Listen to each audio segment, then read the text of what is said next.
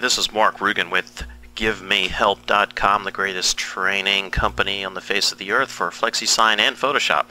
Uh, we're going to show you a little Photoshop technique here for removing backgrounds and for uh, filling in areas that you uh, want to correct.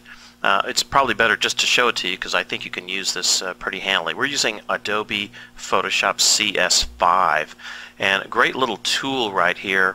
Uh, you know, it's another selector tools here. This is called the Quick Selection tool.